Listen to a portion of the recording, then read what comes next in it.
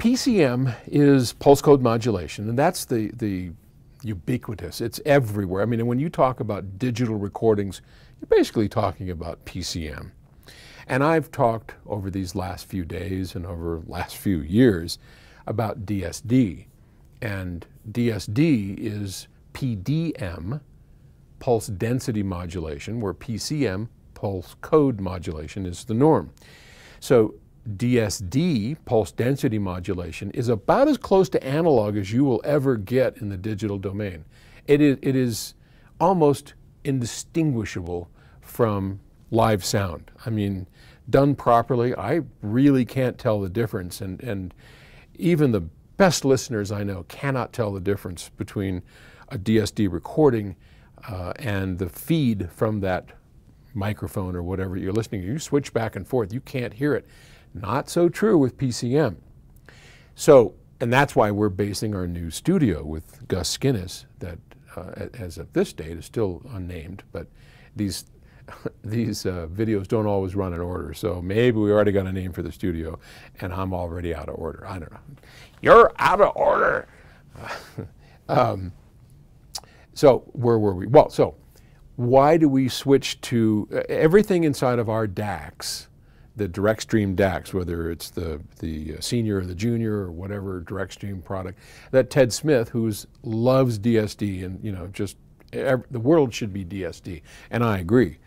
Um, but there's, anyway, that's why we're basing our studio on it. Um, everything is converted to DSD. It's upsampled, then converted to DSD.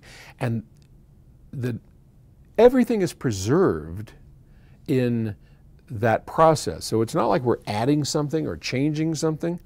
The difference, as you suspect, is when you have a DSD signal and then you convert that to analog. The process is so simple, it, it just sounds better.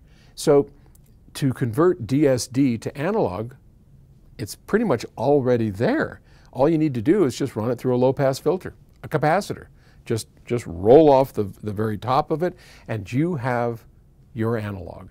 If you look at a DSD signal in, on a scope, you can see the music. You can see the sine waves. You can see, uh, you see music. If you look at PCM, you don't see music. You see computer bits.